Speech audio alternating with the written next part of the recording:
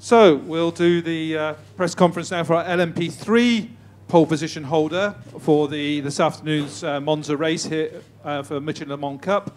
Uh, the number 37 Cool Racing Ligier Nissan, Nicolas Maulini, um, 143.597, the third pole of 2020.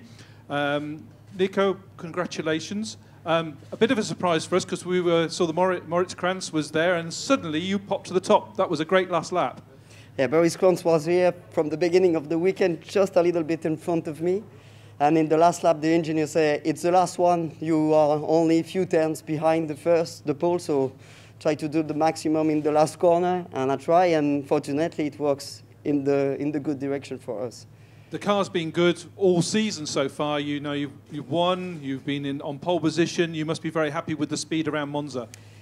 Yeah, it, it's a big a surprise for me to be faster than the Duqueine here. Uh, I, th I, thought it will be difficult here because of the speed the Duqueine have is not straight, but we work a lot since um, uh, Thursday.